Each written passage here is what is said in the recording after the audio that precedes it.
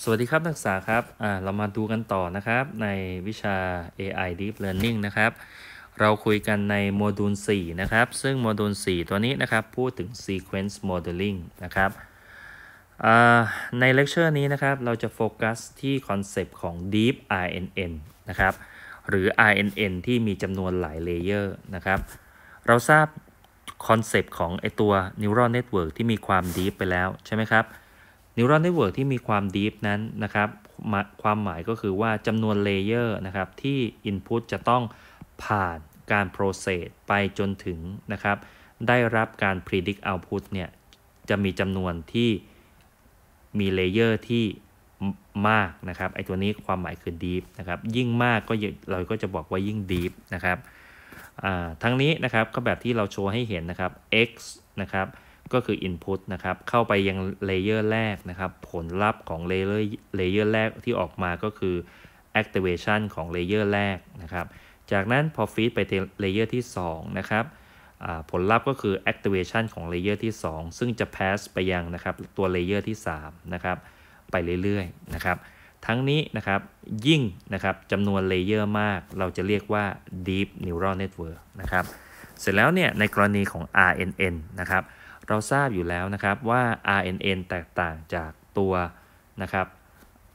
ตัว neural network ธรรมดาก็เพราะว่า RNN นั้นนะครับมันจะเป็นมันจะต้องจัดการกับข้อมูลที่เป็น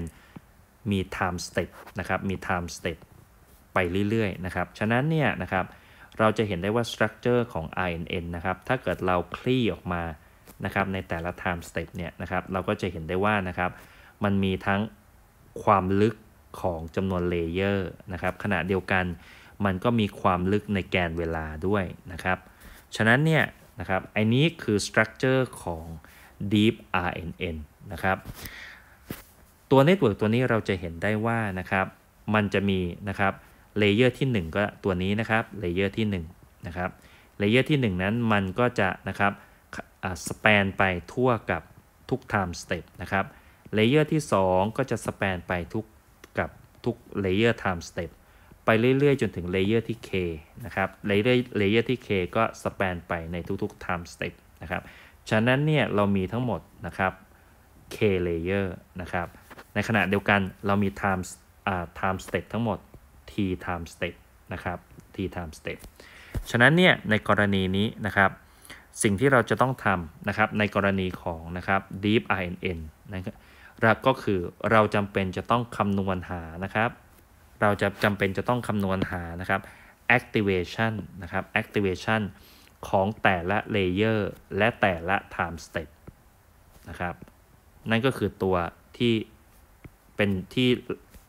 แรงเงาด้วยสีฟ้านะครับ ที่เป็นสีฟ้า เราจะเป็นจะต้องคำนวณหา activation นะครับที่จุดนั้นที่จุดนั้นๆนะครับ เสร็จแล้วเนี่ยนะครับ เราอันดับแรกเราก็จะนิยามก่อนนะครับ นิยามตัวแปรก่อนนะครับ เรานิยามตัวแปรว่า a นะครับ alt นะครับ l ตัวนี้นะครับจะอยู่ในเครื่องหมาย bracket นะครับ เครื่องหมาย bracket จะเป็นเครื่องหมายนี้นะครับ เครื่องหมายอย่างเงี้ยครับ ขณะเดียวกันนะครับ time step นะครับจะเป็นเครื่องหมายอย่างนี้นะครับ ฉะนั้นเนี่ยนะครับ alt ตัวนี้นะครับ มันก็คือ activation นะครับของ layer L นะครับ ที่ time step t นะครับ ยกตัวอย่างเช่นนะครับ ยกตัวอย่างเช่น ตัวนี้นะครับ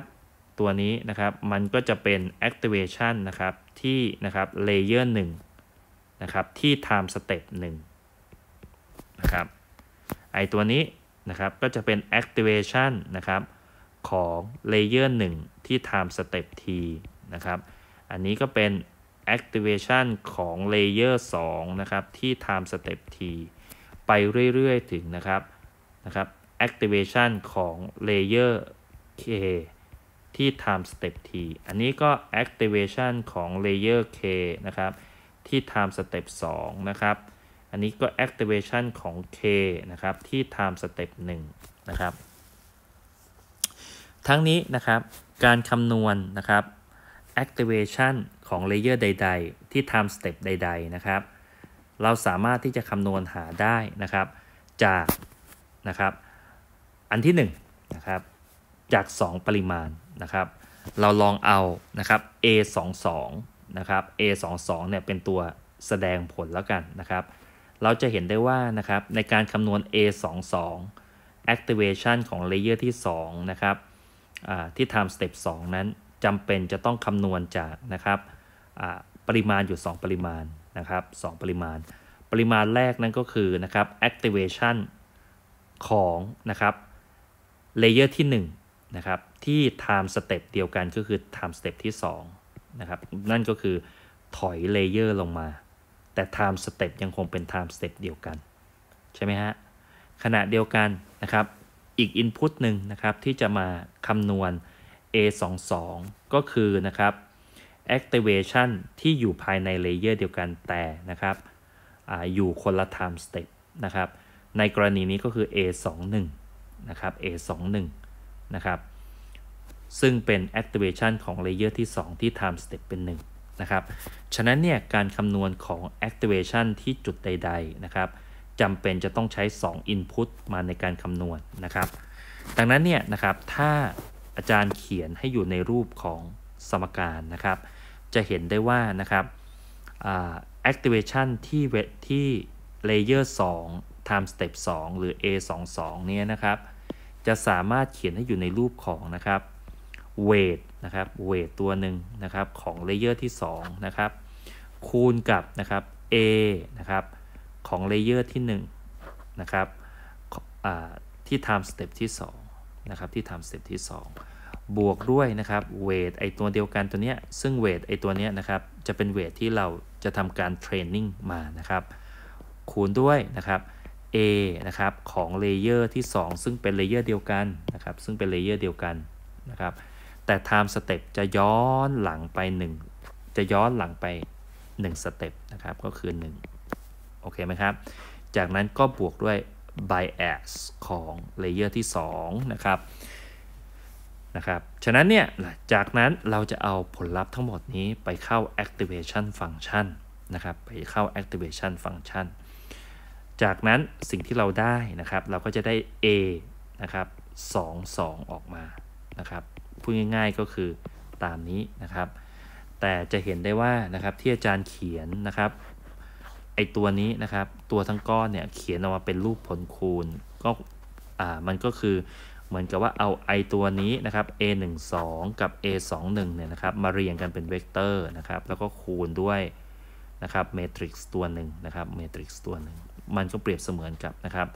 ก็เอานี้คูณนี้บวกด้วยไอตัวนี้คูณนะครับไอตัวนี้คูณนี้บวกด้วยไอตัวนี้คูณนี้นะครับ เป็นรูปแบบเดียวกันนะครับ ฉะนั้นเนี่ยนะครับใช้หลักการไอตัวนี้ นะครับ เราก็สามารถจะคำนวณได้ไปจนถึงผลผลสุดท้ายเราคำนวณถึง output นะครับไอตัวนี้คือคอนเซปต์ของ deep RNN นะครับเราจะบอกว่าเป็น deep RNN ก็ต่อเมื่อว่าในแนวนะครับในแนวแกน layer เนี่ยมีจำนวน layer ที่ layer ที่มาก ถ้าเกิดเราใช้แค่2 layer นะครับมันเป็น RNN ครับแต่มันไม่ใช่ deep RNN เพราะว่านะครับจำนวน layer นั้นนะครับไม่ได้ deep เพียงพอนะครับ แน่นอนนะครับ เราสามารถที่จะมี deep LSTM ก็ได้นะครับ เราอาจจะมี deep GRU ก็ได้ เหมือนกับ deep RNN นะครับ นั่นก็หมายความว่านะครับ แทนที่นะครับในแต่ละบล็อกเนี่ยนะครับ เราจะแทนด้วยนะครับตัว INN ธรรมดานะครับ เราก็จะอาจสามารถที่จะแทนด้วย LSTM หรือเราอาจจะแทนด้วย GRM นะครับ ซึ่งมันก็จะเชื่อมต่อในแนวทั้งในแนวแกนลึกนะครับ ในแนวแกนลึก และในแนวแกน ในแกน time state นะครับ นอกจากนี้นะครับ เราจะเห็นได้ว่าที่อาจารย์โชว์ให้เห็นเนี่ยนะครับ มันยังคงเป็น one way ถูกไหมฮะ มันยังเป็น forward นะครับ prediction อย่างเดียวนะครับ นักศึกษาก็สามารถที่จะนะครับปรับปรุงมันได้นะครับ โดยการนะครับใส่ bidirectional เข้าไปก็ได้นะครับ นั่นก็คือว่าแทนที่นะครับจะหาข้อมูลนะครับจากจากทางเดียว นะครับจากแค่ forward ไปอย่างเดียว ก็สามารถที่จะคำนวณหานะครับ backward ด้วยนะครับเพื่อเพื่อใช้ในการตัดสินใจตัวนะครับตัว activation พูดง่ายๆคือนะครับถ้าเกิดสมมุตินะครับถ้าเกิดสมมุติแค่นะครับ INN ธรรมดาเราก็จะมีแค่ 1 ชุดนะครับ1ชุดของ activation นะครับแต่ถ้าเกิดเรานะครับถ้าเกิดเรามี backward ด้วยเราจะเหมือนกับว่าเราจะมีอีกหนึ่งชุดของ activation นะครับ ซึ่งนะครับวิ่งจากขวามาซ้าย แต่ไอตัว activation เหล่านี้มันจะวิ่งจากซ้ายมาขวานะครับ ทั้งนี้นะครับผลสุดท้ายนะครับผลลัพธ์ของ bidirectional ก็คือการรวมกันระหว่าง activation ที่ไปจากทางด้านซ้ายมาขวา และ activation ที่ไปจากขวามาซ้ายนะครับ ฉะนั้นเนี่ยแบบที่อาจารย์บอกนะครับ BRN BRNN ก็สามารถที่จะ apply ได้กับไอตัว deep RNN เช่นเดียวกันนะครับ ฉะนั้นเนี่ยไอตัวนี้คือนะครับคอนเซปต์ของ deep RNN ไม่ได้ยากเลยนะครับ แค่เพิ่มจำนวน layer เข้าไปเท่านั้นเองนะครับสำหรับในแนวแกน layer นะครับ ส่วนไอในแนวแกน time step ก็ยังคงเหมือนเดิม โอเคนะครับสวัสดีครับ